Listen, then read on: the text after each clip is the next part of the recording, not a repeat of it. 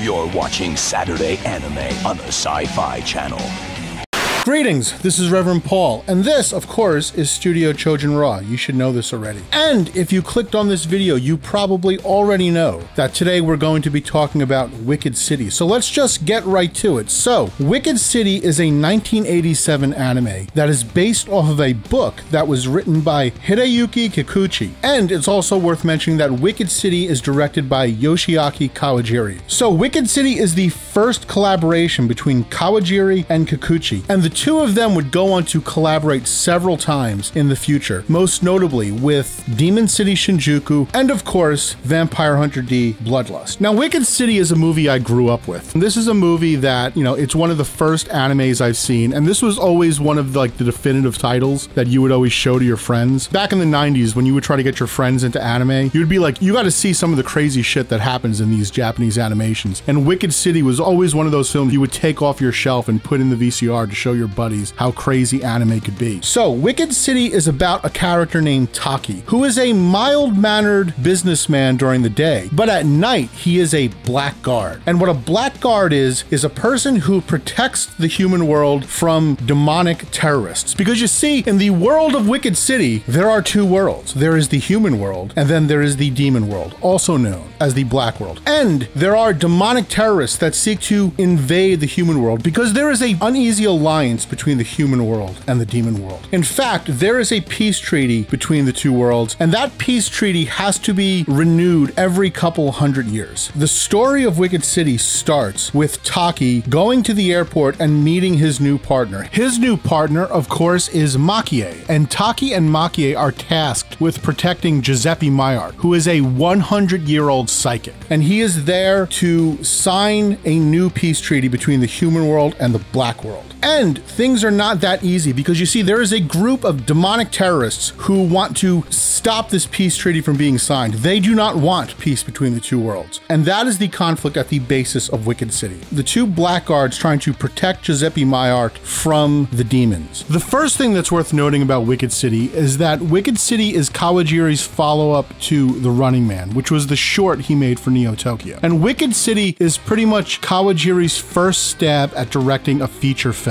And it establishes who Yoshiaki Kawajiri is as an action director. All his trademarks come from this movie the strobing effect, the zooming in, the fade in and fade out. I don't know how to explain it, but that like a character slashes and there's this like fade in and fade out. Everything we need to know about Kawajiri comes from this movie. In fact, in a lot of ways, Wicked City is almost like the template for Ninja Scroll. And Makie, Taki, and Mayart serve as the prototypes for Jubei, And Dakuan. Another thing that's worth mentioning is that Wicked City was originally supposed to be a half an hour OVA, but the producers were so impressed with the work Kawajiri was doing, they asked him if they could make the movie 90 minutes. In the original version of Wicked City, the story began at the airport. So the entire opening of the movie was added. So is the ending and some bits in the middle. But they are working from that same script that was a half an hour long. So the story itself is kind of thin. But that is not a problem with Wicked City because you see, the thing that makes Wicked City interesting and what makes Wicked City so great is it is the quintessential erotic horror. And the way the movie opens is the perfect gateway into the world of Wicked City. The movie starts off with Taki on a date with a girl that he's been wanting to go out with for a while. And then, you know, the two of them hit it off and then they go back to her apartment and then they start to get it on. Now, preceding the sex sequence, there are all these little hints that something is not right.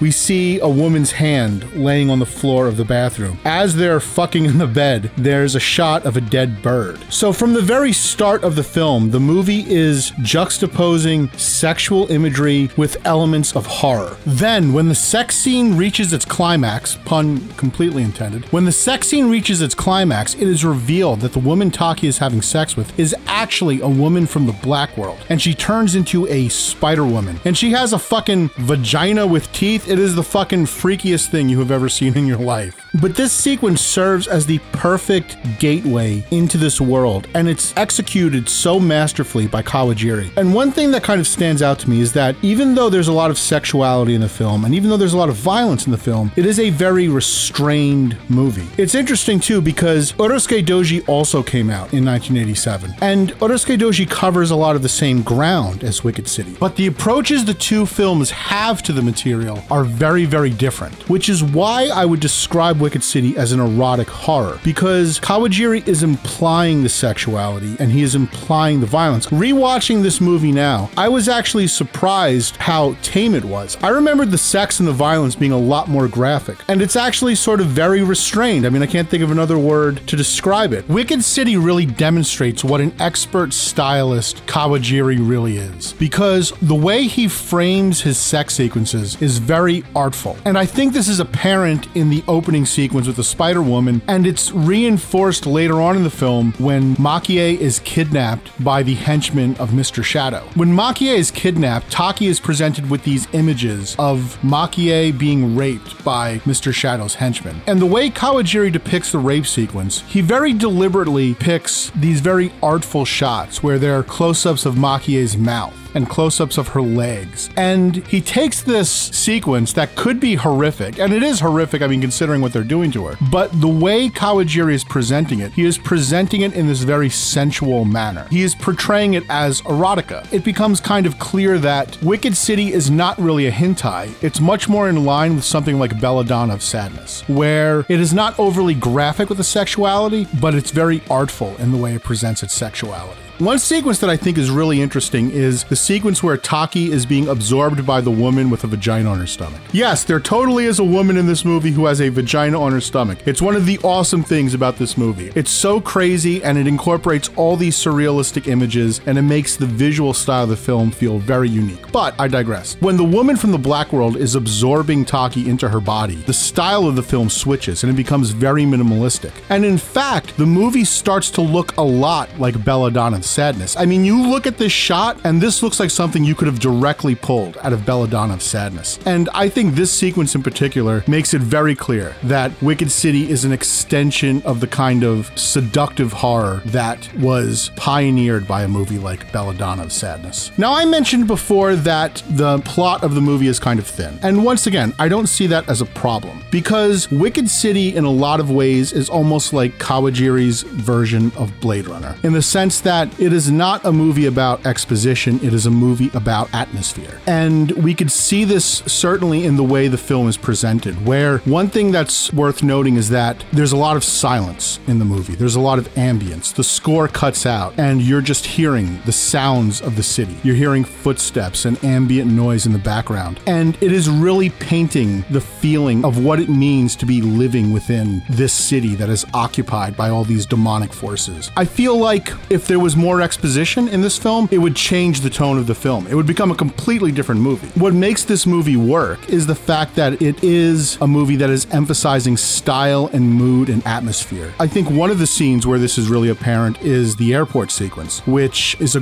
great sequence. There's a lot of great atmosphere. The use of color in this sequence is incredible. The use of blue and red, the use of ambient sounds, and the very minimalist use of score makes this sequence very powerful. And this is one of the iconic scenes of Wicked City. This is one of those sequences that they always show clips of. And I think the transformation sequences are really great too. One thing I really love about the transformation sequences is that when the characters transform, they have these demonic qualities but still retain certain elements of their human body. It makes them look that much more horrific and surrealistic. And another thing I like is this character here with the fucking head with the spider legs and the eyes on the stalks. This totally has to be a reference to the thing, which I think is really cool. One thing that struck me upon my rewatch of Wicked City is that I think Wicked City is a metaphor for like a whirlwind love affair. Like going out on a blind date and meeting the girl of your dreams and falling in love. This is what I think this movie is about because the movie begins with Taki as this kind of bachelor living the bachelor life, hooking up with random chicks, and then he meets Makie. And then they have this crazy night out on the town. It's almost like a date. I mean, one thing that's really interesting about Wicked City is that it's almost almost like a series of vignettes where the characters are always driving to the next location. Each action sequence is always introduced by the characters driving to a new place. So it does kind of feel like this crazy first date. And another thing that really stood out to me was the fact that Makie's ex-boyfriend shows up and kind of tries to seduce Makie and Taki fucking kills him. it's like it's like wow, like this show is really kind of driving home this element of like these two people finding each other and casting off their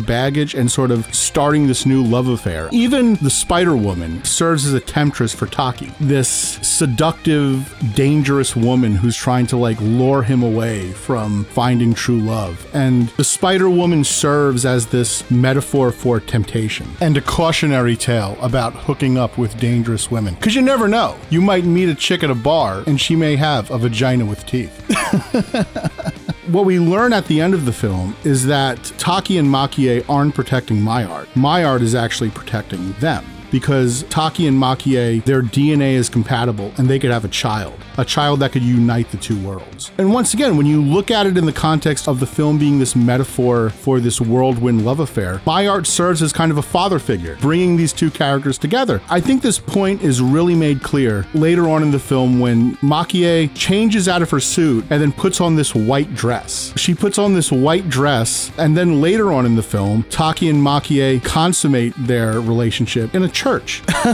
so, I mean, when you look at it in that regard, Wicked City is this very obvious metaphor for two people falling in love, getting married, and starting a family together. It's a really interesting thing that I never really picked up on until I rewatched it for this review. Now, even though there isn't a lot of characterization in Wicked City, I do think the characters are very likable. I think Taki is a very cool, smooth dude. Makie is a very sexy, badass character. But really, I think the character that steals the show is Giuseppe Mayart. Giuseppe Mayart is this fucking horny, perverted old dude, and he is the most relatable character in Wicked City. At least he is to me. Because this is the thing Giuseppe Mayart is doing the things that I think everybody wants to do. He is in fucking 1980s Tokyo, which is like the most awesome place in the world. And all he wants to do is he wants to go to the soap lands, he wants to go to the strip clubs, he wants to go to the bars, he wants to experience the exotic nightlife that is 1980s Tokyo. And who cannot relate to that? We would all love to do that. I mean, it does suck that he goes to a soap land and then hooks up with a chick and she ends up absorbing him into her body. That really does suck. He does get some boob action, although he swallows a parasite. That sucked. But all in all, he was doing his best to try to have a good time. So, Giuseppe Mayart, definitely an awesome character. We should all be so lucky to live vicariously through him. In closing, I really think Wicked City is a classic anime film to come out of the 1980s. And really, it's probably a classic of the genre itself because it encapsulates the style that would come to define not only Yoshiaki Kawajiri's work,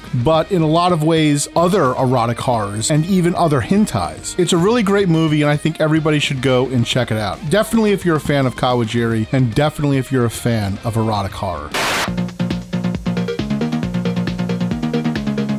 This week's question comes from Dark Knight Fan 75, who writes, Hey Paul, now that the Snyder Cut of Justice League has come out, what did you think of it? And if Zack were to have the chance to revive his original insane ideas for Justice League Part 2 and 3, would you want to see that? Also, what's your point of view on the controversy surrounding Zack? People who say it's the same as the 2017 version of the film but longer just sound petty and they're just saying that stuff for the sake of hating on him just because they don't like him and his movies. A very basic question I know but I love the movie and wanted to hear your thoughts. Thank you, Dark Knight fan, for sending in a question. I've mentioned before that I didn't hate the 2017 version of Justice League. I thought as a live action version of the Super Friends TV show, it was perfectly enjoyable. But with that said, I do have to say that Zack Snyder's Justice League is a huge improvement over Justice League 2017. I enjoyed most of it, and I'm not a fan of Zack Snyder's DCEU. I think Zack Snyder is a pretty cool dude. I've seen interviews with him and he comes off as very genuine and very sincere. And I have a lot of sympathy for him with all the personal tragedy he's had to endure. And I like Zack Snyder as a filmmaker. I'm probably the only person who likes Sucker Punch. But with that said, I have never been a fan of Zack Snyder's version of the DCEU because it seems like to me he doesn't really like Batman or Superman. He just kind of wants to reinvent them as his own dark versions of the character. One thing I will say about Justice League 2017 is that that film attempted to give Superman a personality.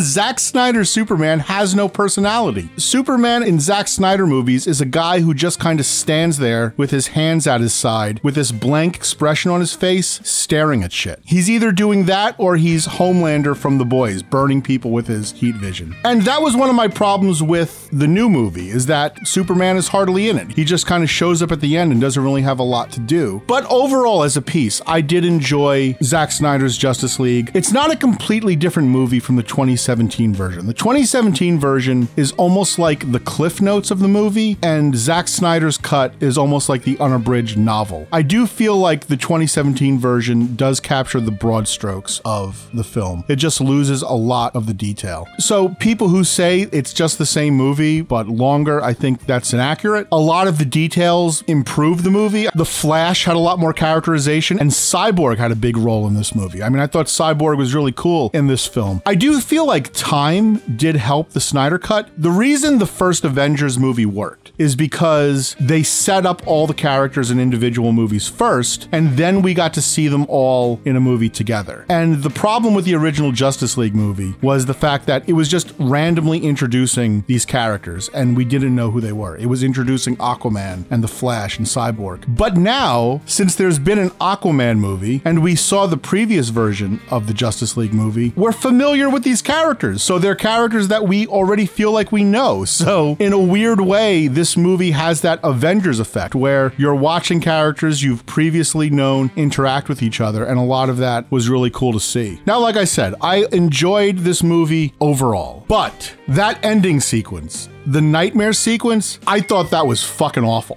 that I thought that was terrible. And that's what Zack Snyder wants to do. Like this is Zack Snyder's whole reason for making Man of Steel, Batman vs Superman and the Justice League is just so he can make a movie where Batman has a trench coat and he's wandering through the post-apocalypse and Superman is a murderous psychopath. Everything he's doing is just to get to that point, and I fucking hated it. I thought that sequence had some of the worst dialogue ever. It was really fucking terrible. And honestly, the thought of watching a three hour movie of Batman and Joker wandering through the post apocalypse sounds fucking awful.